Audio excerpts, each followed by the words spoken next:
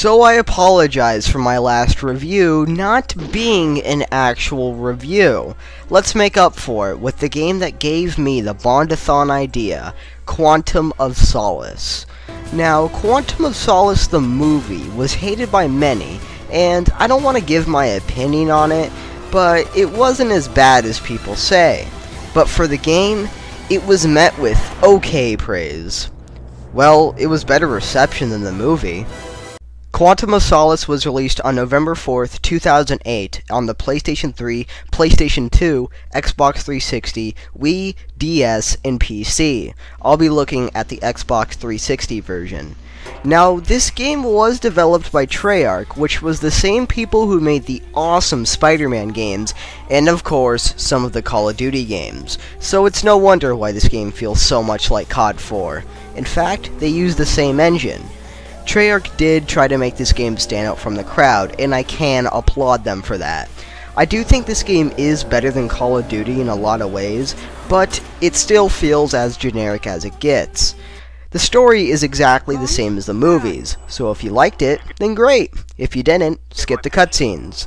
Most of the characters from the movie reprise their roles, like Daniel Craig voices Bond and Judi Dench returns the voice M. I personally think they should have done some kind of epilogue to the movie story, but whatever. Oh yeah, there are a few levels from Casino Royale. I guess they had some leftovers from the cancelled Casino Royale game. Quantum of Solace's gameplay is like any first-person shooter. You run, you aim, you crouch, you punch, and of course, you shoot. Since the engine is exactly the same as COD 4, it functions good enough. The campaign is epic, as it takes you through many locations like mansions and on top of trains. This is definitely a fun game to play through, but they did take out vehicle sections. Odd. Now Treyarch has made some additions that try to separate it from other shooters. You can do some awesome takedowns that weren't in any COD game. The biggest difference, however, is the cover system. By pressing A near a certain wall, you can snap into cover and go into a third-person perspective. You can still aim and blind fire and stuff like that, so it's very flexible. I love the cover mechanic in this game. I wish more FPSs did this, because usually when they do have cover, you're still in the first person view and you can't see any enemies around you. Too bad the system never returns in any other Bond game.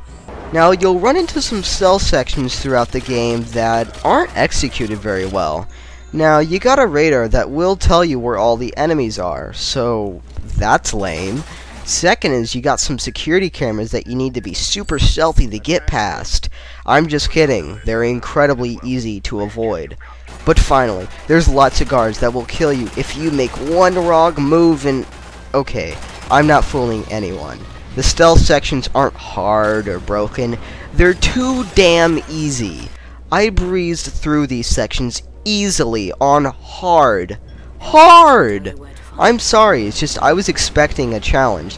They're easy because the guard patterns are predictable and the path they set for you is incredibly linear, making them nearly impossible to fail. Other than that, there's not much else to the gameplay that's unique enough to explain. Um, there's cell phones for collectibles. Eh, moving on. The graphics actually look really nice. I'm not gonna lie. Yeah, there's much better looking games out there, but for an early Xbox 360 title, they're pretty good. I like the production qualities that went into this game. You don't see that too often with movie tie-in games. The soundtrack is the same as the movies, which is typical action movie stuff. Entirely forgettable. The game does have a few glaring issues though. One is that the game on its hardest setting is still pretty easy, and you'll find that constant throughout each Bond game. Why is it so hard to make the game, oh, I don't know, hard? Two is that a lot of the time, this game just feels too generic and barely ever feeling like a true Bond game. You could have taken away the Bond license and it would have been just another FPS on the flooded market. And three is that the multiplayer sucks. Wanna know why? Nobody plays it. So, Quantum of Solace, is it worth your time and money? You can find Quantum of Solace for an insanely low price. I got my copy for, no joke, $3. Perfect condition and everything.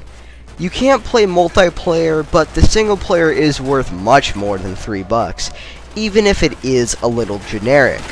Quantum of Solace gets a 6 out of 10. Seriously, 3 bucks. So, after a pretty mediocre title, let's see if we can do better with 007 Bloodstone. See you then. Genesis Frenzy signing off.